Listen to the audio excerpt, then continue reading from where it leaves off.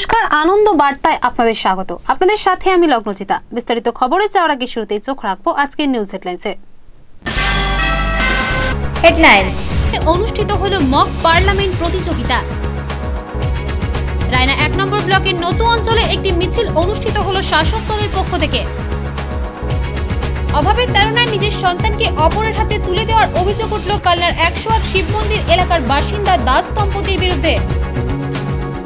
সোমবার থেকে বাঁকুড়া খ্রিস্টান কলেজ মাঠে সূচনা হলো তেত্রিশতম বাঁকুড়া জেলা বইমেলার। বর্তমান বলগোনা রুটে রেলের সময় স্মরণের মধ্যে বিস্তর ফারাক হওয়ায় ক্ষোভ প্রকাশ পেয়েছে রেল যাত্রীদের মধ্যে। ডিস্ট্রিক্ট লিগাল সার্ভিস অথরিটির উদ্যোগে ও সাহেবগঞ্জ এক নম্বর পঞ্চায়েত সমিতির পরিচালনায় একটি আইনি সচেতনতার শিবির অনুষ্ঠিত হলো। পৌর উৎসব উপলক্ষে আয়োজিত আন্তঃবিভাগীয় ক্রিকেট টুর্নামেন্টের চূড়ান্ত পর্যায়ের খেলা অনুষ্ঠিত হলো স্পন্দন মাঠে। চুয়াল্লিশতম ইন্টারন্যাশনাল জুনিয়র ভলিবল চ্যাম্পিয়নশিপ ইতিমধ্যেই দুটি খেলায় জয়লাভ করেছে বাংলা। চলে আসছে বিস্তারিত খবরে। উৎসব ময়দানে অনুষ্ঠিত হলো মক পার্লামেন্ট প্রতিযোগিতা। বর্ধমান পৌর উৎসব উপলক্ষে চলে এইরূপ কর্মকাণ্ড। মোট সাতটি স্কুল এই প্রতিযোগিতায় অংশ নেয়। মক পার্লামেন্ট প্রতিযোগিতা অনুষ্ঠিত হলো বুধবার। প্রতিযোগিতাটি অনুষ্ঠিত হয় উৎসব ময়দানে। বর্ধমান পৌর উৎসব উপলক্ষে এইরূপ পরিকল্পনা গৃহীত হয়। এই বছরই এইরূপ চিন্তাভাবনা প্রথম নেয় কর্তৃপক্ষ। সাতটি স্কুল এদিনের এই প্রতিযোগিতায় অংশ নেয়। মানুষজনের মধ্যে পার্লামেন্ট সম্পর্কে স্পষ্ট ধারণা তৈরি করার লক্ষ্যেই এইরূপ উদ্যোগ গৃহীত হয়।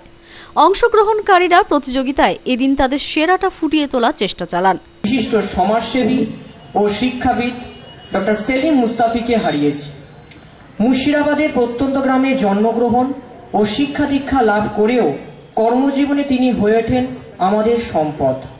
মাননীয় পূর্তমন্ত্রীর কাছে জানতে চাই যে ঘুষকরা ইলামবাজার ঘুষকরা মানকর ময়নাগুড়ি, মুরারই রঘুনাথগঞ্জ প্রভৃতি রুটের বাস ও যানবাহন চলাচলকারী রাস্তাগুলির এইরূপ বেহাল অবস্থা কেন?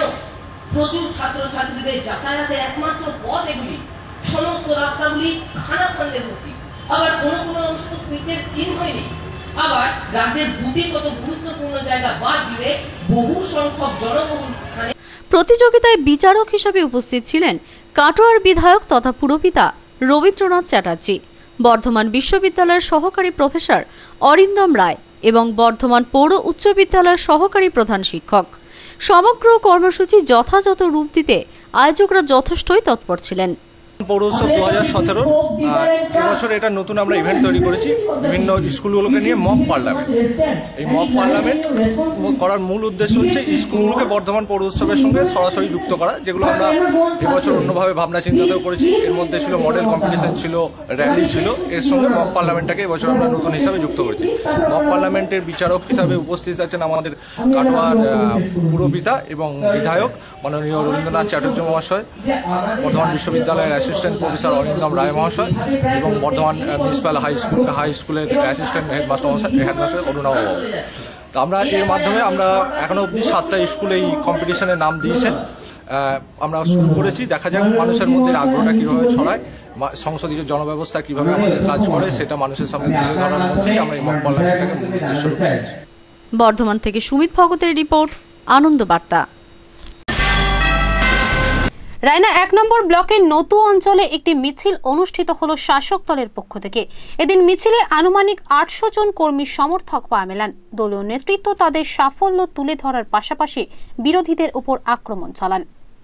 কালো হাত ভেঙে দাও কুড়িয়ে দাও। ভেঙে দাও কুড়িয়ে দাও। বন্দে মাতরম। বন্দে মাতরম। শাসক দলের পক্ষ থেকে একটি মিছিল অনুষ্ঠিত হলো বুধবার। এদিনের এই মিছিলটি অনুষ্ঠিত হয় রায়না এক নম্বর ব্লকের নতু অঞ্চলে। সবঙ্গে নির্বাচনের তৃণমূলের সাফল্যের বহিঃপ্রকাশ হিসাবে এদিনের এই কর্মসূচি গৃহীত হয়। নতু অঞ্চলের প্রধান ব্লক নেতৃত্ব, পঞ্চায়েত সমিতির কর্মাধ্যক্ষ, কৃষি কর্মাধ্যক্ষ সহ অন্যান্যরা মিছিলে উপস্থিত থেকে মিছিলটিকে যথাযথ রূপ প্রদান করেন। মিছিল থেকে দলীয় নেতৃত্ব তাদের সাফল্যের খতিয়ান তুলে ধরার পাশাপাশি বিরোধীদের আক্রমণ চালান। আনুমানিক আটশো জন দলীয় কর্মী সমর্থক এদিনের মিছিলে পা মেলান। মিছিলটি এদিন গোটা এলাকা পরিক্রমা করে। মিছিল ঘিরে আয়োজকদের মধ্যে কর্মচঞ্চলতা ফুটে ওঠে। মিছিল করা হয়েছে গোটা নতুন অঞ্চল সমস্ত কর্মীরা এসছেন। যেটার মেন কারণ হচ্ছে সবরঙের উপনির্বাচন আমাদের বড় সাফল্য এবং আমাদের আগামী পঞ্চায়েতের একটা প্রস্তুতি হিসাবে। আমি নতুন অঞ্চলের প্রধান হিসাবে উপস্থিত আছি। আমাদের ব্লক নেতৃত্ব রয়েছেন। আমাদের পঞ্চায়েত সমিতির কর্মাধ্যক্ষ রয়েছেন। মৎস্য কর্মাধ্যক্ষ। কৃষি কৃষি কর্মাধ্যক্ষ রয়েছেন। আরও আমাদের সব বিভিন্ন কর্মীরা রয়েছেন। সাত আটশো লোক আজকে পা মিলিয়েছেন। অ্যাকচুয়ালি আমাদের পঞ্চায়েত নির্বাচনে আমরা প্রস্তুতি শুরু করে দিয়েছি। এই তার এটারই একটা অঙ্গ হিসাবে আজকের মিছিল আমরা বার্তা দিচ্ছি যে আমাদের যে উন্নয়ন সেই উন্নয়নের বার্তাটাকে আমরা বিভিন্ন মিছিল মিটিং এবং বিভিন্ন গ্রুপ মিটিংয়ের মাধ্যম দিয়ে প্রচার করার একটা পন্থা হিসাবে এটা বেছে নিয়েছি মিছিলটা। উন্নয়ন এবং মমতাজিকে সামনে রেখে আমরা যেভাবে চলছে ওনার নীতি আদর্শকে সামনে রেখে এবং উন্নয়নের যে ধারা সেই ধারাটাকে আমরা বজায় রাখার জন্য মানে যেভাবে চলছে তার মানে প্রতিফলন হিসাবেই আজকের মিছিল। আমাদের পঞ্চায়েত তৃণমূলের দখলেই থাকবে এটা আমরা নিশ্চিত। নতু থেকে কৃষ্ণ সাহার রিপোর্ট আনন্দ বার্তা। নজর রাখব পরবর্তী খবরে। অভাবের তাড়নায় নিজের সন্তানকে অপরের হাতে তুলে দেওয়ার অভিযোগ উঠল কালনার একশো আট শিব মন্দির এলাকার বাসিন্দা দাস দম্পতির বিরুদ্ধে। স্থানীয় প্রশাসন ও চাইল্ড ওয়েলফেয়ার সোসাইটির সদস্যরা শিশুটিকে উদ্ধার করে বর্ধমানের হোমে পাঠিয়ে দেয়। অভাবের তাড়নায় নিজের সন্তানকে অপরের হাতে তুলে দেওয়ার অভিযোগ উঠল এক দম্পতির বিরুদ্ধে। ঘটনাটি ঘটেছে কালনার একশো আট শিব মন্দির সংলগ্ন এলাকায়। অভিযোগ কেষ্ট দাস ও তপতি দাসের পঁচিশ দিনের পুত্র সন্তানকে দু নম্বর ওয়ার্ডের বাসিন্দা সুমিত মুখার্জির কাছে দিয়ে দেয়। দাস দম্পতির দাবি তাদের পাঁচ বছরের আরও একটি পুত্র সন্তান আছে। অভাবের তাড়নাতেই তারা ওই সন্তানকে দিয়ে দিয়েছে। রিক্সা চালায় না আগে চালাতো না? হ্যাঁ আগে চালাতো দিয়ে এখন ওই রিক্সার ইয়ে কমে যাওয়াতে বাধ্য হয়ে পাউরুটি এলাকাবাসীর কাছ থেকে খবর পেয়ে কাল্লার মহকুমা শাসক নিতিন সিংহানিয়া ও চাইল্ড ওয়েলফেয়ার সোসাইটির লোকজন সুমিত মুখার্জির বাড়িতে উপস্থিত হয়ে শিশুটিকে উদ্ধার করে বর্ধমানের হোমে পাঠিয়ে দিয়েছে।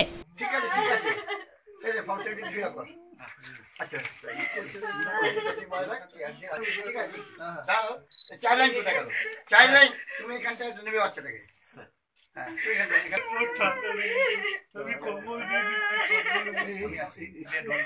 হয়েছে? ধরবেন। আমরা এখানে বাচ্চা এসছি। মিঠু মুখার্জি বলে আছেন। ওনার বাড়ি থেকে একটা বাচ্চা রিকভার করেছি আমরা। এবং আমরা জানতে পেরেছি যে মা বাবাও বাচ্চার যে আছেন এসছেন সঙ্গে এবং ওনারা অ্যাকসেপ্ট করছেন যে বাচ্চাকে দিয়েছিলেন। তো তার জন্য এতে কোনো মনিটারি ট্রানজাকশন আছে কিনা, তার জন্য ইমিডিয়েটলি জিডি করা হচ্ছে একটা।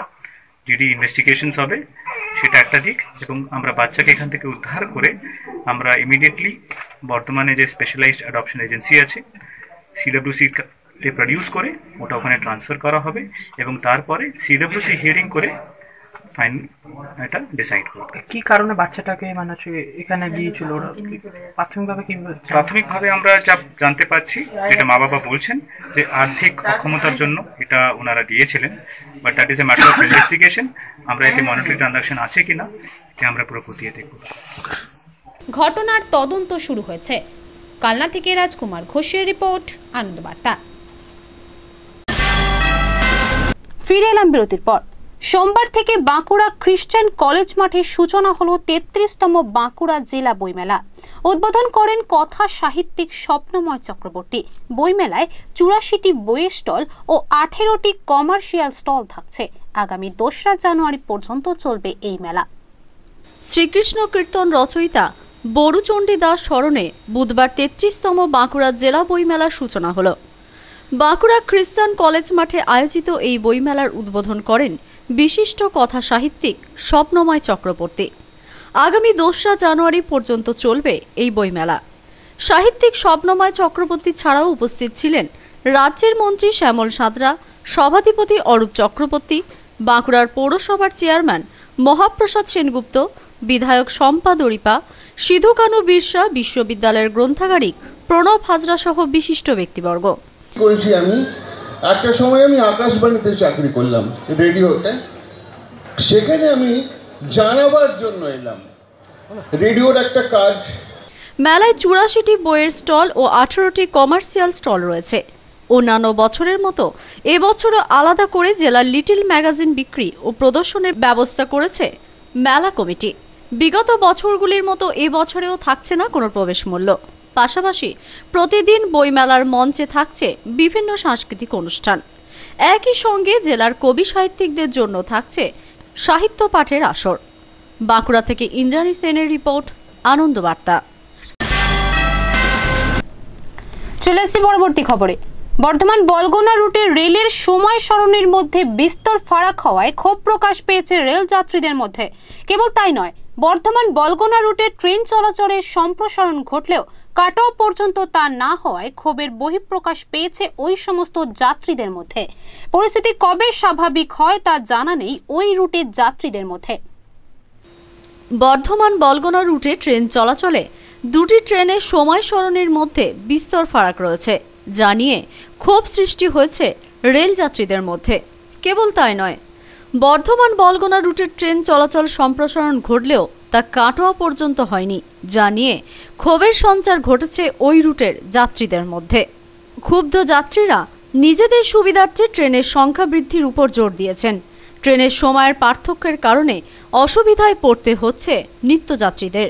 অসুবিধা দূর করতে যাত্রীদের কথা রেল কর্তৃপক্ষের ভাবা উচিত বলে অভিমত পোষণ করেছেন এই সমস্ত রেল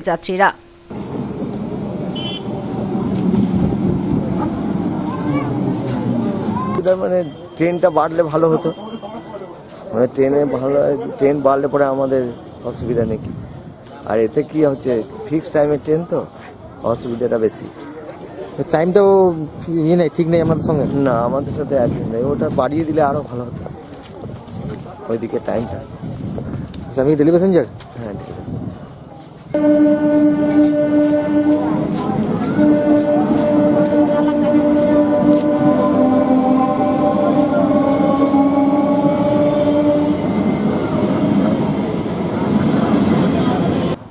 কোনো ক্রমে কাটোয়া যাব। মাঝে এই যে কাটা যাননি আমাদের বয়স্ক লোকেদের পক্ষে অসুবিধা। আর এই ট্রেনের গ্যাপটা অনেকটা। এক দেড় ঘণ্টা অন্তর অন্তর হলে আমরা আরামে ট্রেনে যেতে পারি। বাসে যাওয়া আমাদের পক্ষে ধস্ত কষ্টকর। জাস্ট এই কথা। বলগুনার সঙ্গে যে ট্রেনের কাটোয়া পর্যন্ত যোগাযোগ হয়নি এখনও এটা কি বলবেন আপনার? ওইটা বলছি কি ইমিডিয়েট বলগনার সঙ্গে যোগাযোগ হোক তাহলে আমাদের পক্ষে সুবিধা। কি সুবিধা হবে কাটোয়া যোগাযোগ হলে? কাটোয়া বাজার কাটোয়া গঙ্গাচান অন্যান্য ইত্যাদি অনেক কিছু ব্যাপার। ওখানে ওখানে আত্মীয় বাড়ি যাব সেখানে নামলাম অটো টোটো ধরলাম গেলাম এই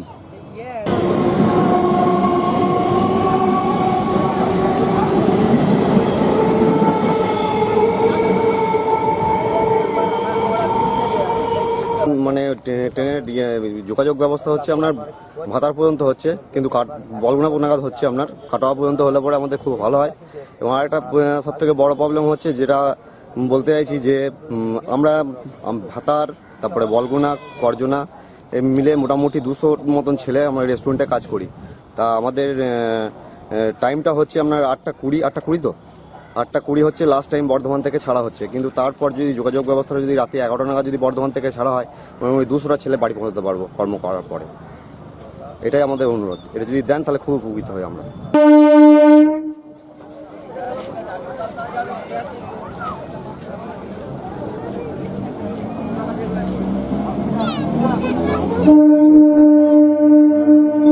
ক্লাস টেনের যে জার্নি সেটা অনেক স্বচ্ছন্দ, অনেক অনেক বিভিন্ন বয়সের মানুষ ছোট থেকে বৃদ্ধ পর্যন্ত সবাই যাতায়াত করতে পারে। একটা সুবিধা।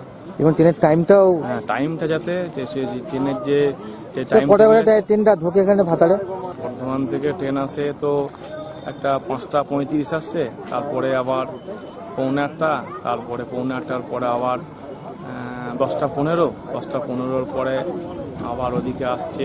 মানে কতক্ষণ গ্যাপ থাকছে অনেকক্ষণ। দুপুরেই তো দশটা তেতাল্লিশের পর থেকে পাঁচটা মানে বারোটা একটা দুটো তিনটে চারটে পাঁচটা ছ ঘণ্টার উপর গ্যাপ এই ছ ঘণ্টা গ্যাপ মানে বিরাট গ্যাপ এই গ্যাপে বিরাট অসুবিধা হচ্ছে যাত্রীদের। টেলিভিশন বিশেষ করে যারা ব্যবসা করে যারা পড়াশোনা করে সবারই ক্ষেত্রে একটা বিরাট অসুবিধা। এই অসুবিধাটা যাতে কথা চিন্তা করে পূর্ব রেল যদি বা হাওড়া ডিভিশনের যে যিনি ডিআরএম আছেন তিনি যদি বিবেচনা করেন তাহলে এটা সুবিধা হয়। সুবিধাটা বা অসুবিধাটা হচ্ছে। সুবিধার থেকে এখন অসুবিধাই বেশি হচ্ছে। ট্রেন ধরো যে গ্যাপ এই দশটা তেতাল্লিশ ছেড়ে যাওয়ার পর আবার সেই বৈকালের দিকে পনেরো পাঁচটায় যে গ্যাপ, এই মাঝে যে গ্যাপটা আমরা পাচ্ছি, এই গ্যাপে কোনো ট্রেন পাচ্ছি না। তার জন্য বিরাট একটা সমস্যা। এই গ্যাপে যাতে ট্রেন দেওয়া হয়, তার জন্য একটা সুবিধা হবে, যদি দিয়ে দেওয়া হয়। আর ভাতার থেকে, বলগোনা থেকে যদি কাটোয়া যদি এটা সংযোগ হয়ে যায়, তাহলে কাটোয়া বর্ধমান যদি ট্রেন চলাচল শুরু হয়, তাহলে আশা করি এই গ্যাপটা মনে হয় মিটে যাবে।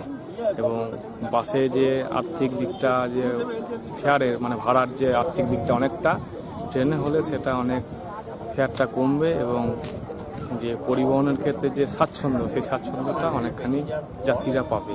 যে কাটোয়া যখন যোগ হবে তো আমাদের সুবিধা কি হবে প্যাসেঞ্জারদের? কাটোয়া যদি যোগ হয় তাহলে প্রথমত সময় কম লাগবে প্লাস ভাড়া কম হবে। তাহলে এই দুটো দিকে মানুষের সুবিধা হবে।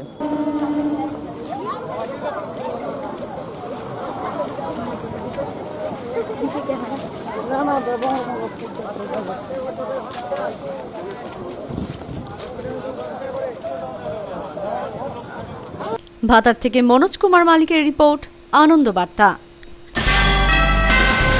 ডিস্ট্রিক্ট লিগাল সার্ভিস অথরিটির উদ্যোগে এবং সাহেবগঞ্জ এক নম্বর পঞ্চায়েত সমিতির পরিচালনায় একটি আইনি সচেতনতা শিবির অনুষ্ঠিত হল।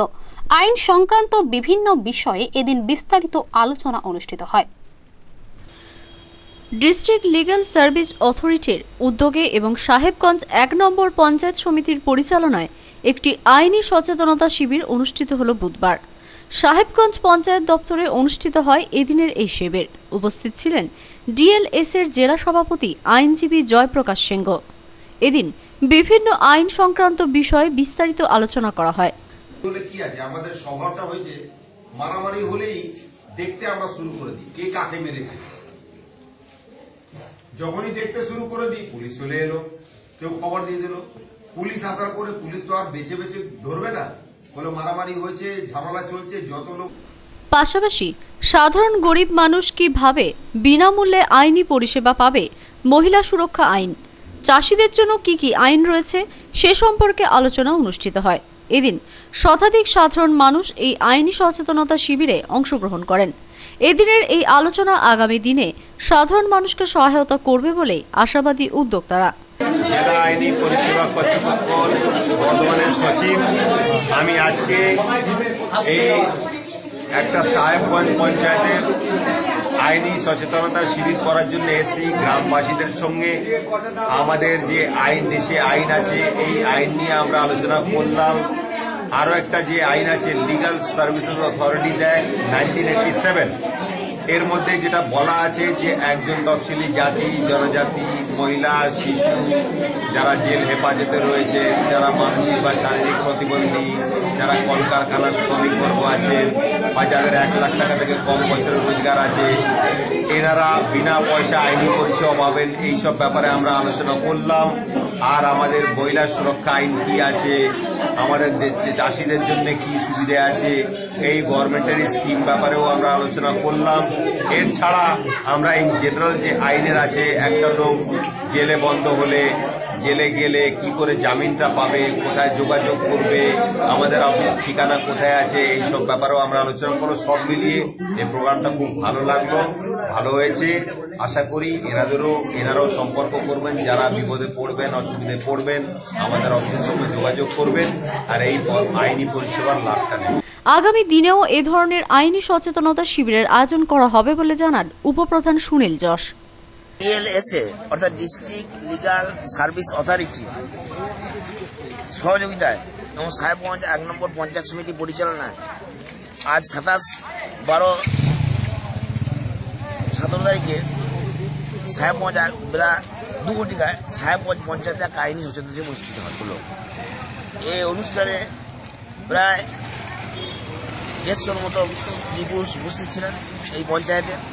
তারা প্রত্যেকে আইনি সচেতন সম্পর্কে প্রয়োজনীয় তথ্য প্রয়োজনীয় তথ্য আমাদের ডিএলএসএ অর্থাৎ ডিস্ট্রিক্ট লিগাল সার্ভিস অথরিটির সেক্রেটারি রাকেশ কুমার সিং, মাননীয় বিচারপতি, উনি বক্তব্য রাখলেন। আচ্ছা বক্তব্য রাখলেন। কোন কোন ধরনের মানুষ আইনি সহায়তা পেতে পারে এবং কীভাবে পেতে পারে?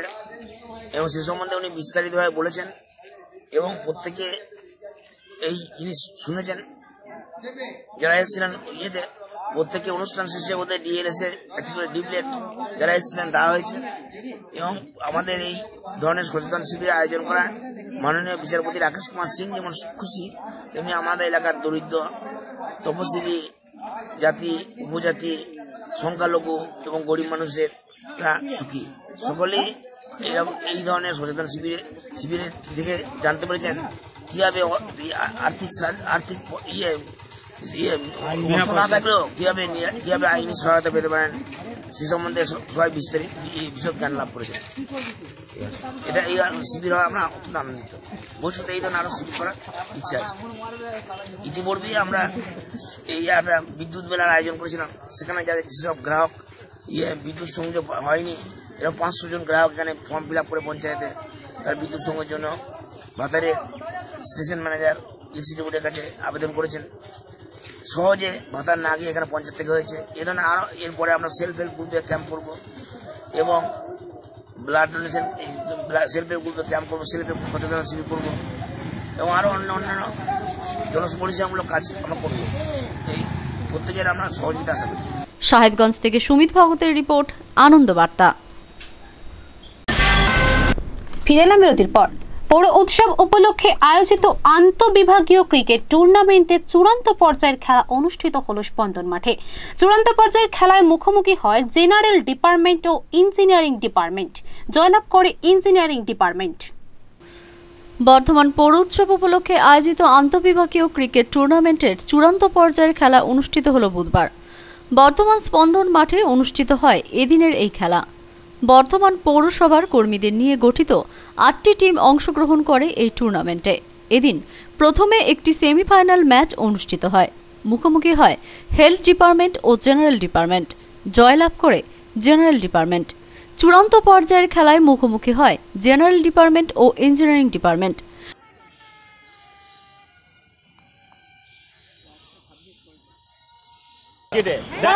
শুভ শুভ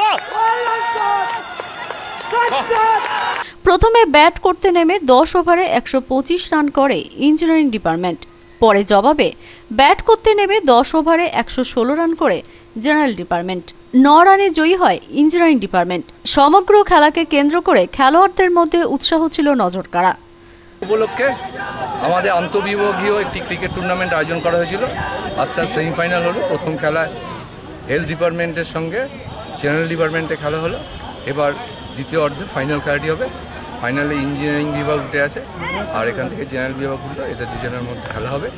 মাঠে সব আমাদের কর্মী বন্ধুরা এসছেন, অনেক সমর্থক এসছেন। সবাই মিলে এই খেলাটাকে উপভোগ করছে। টোটাল আটটা টিম হয়েছিল। আটটা টিমের মধ্যে নকআউট ভিত্তিতে খেলা করে আজকে আমরা ফাইনালে এসেছি। বর্ধমান থেকে সুমিত ভগতের রিপোর্ট, আনন্দ বার্তা। চুয়াল্লিশতম ইন্টারন্যাশনাল জুনিয়র ভলিবল চ্যাম্পিয়নশিপ ইতিমধ্যেই দুটি জেলায় জয়লাভ করেছে বাংলা। বাংলা দলের সঙ্গে দেখা করলেন রাজ্যের মন্ত্রী অরূপ বিশ্বাস। মন্ত্রী বাংলা দলকে শুভেচ্ছা জানানোর পাশাপাশি জয়ী হলে সম্বর্ধনা জানানোর কথা বলেন। চুয়াল্লিশতম ইন্টারন্যাশনাল জুনিয়র ভলিবল চ্যাম্পিয়নশিপ প্রতিযোগিতা শুরু হয়েছে। প্রতিযোগিতাটি অনুষ্ঠিত হয় অরবিন্দ স্টেডিয়ামে। বাংলা দল দুটি ম্যাচ জিতেছে। মঙ্গলবার রাজ্যের মন্ত্রী তথা বর্ধমান জেলার তৃণমূলের পর্যবেক্ষক অরূপ বিশ্বাস খেলোয়াড়দের সঙ্গে সাক্ষাৎ করার পাশাপাশি খেলোয়াড়দের অনুপ্রেরণা দেন। মন্ত্রী বাংলার খেলোয়াড়দের জানান, যদি তারা চ্যাম্পিয়ন হয়, তাহলে তাদের বিশেষ সম্বর্ধনা জানাবেন। মন্ত্রীর অনুপ্রেরণায় আপ্লুত হয়ে ওঠেন খেলোয়াড়রা। National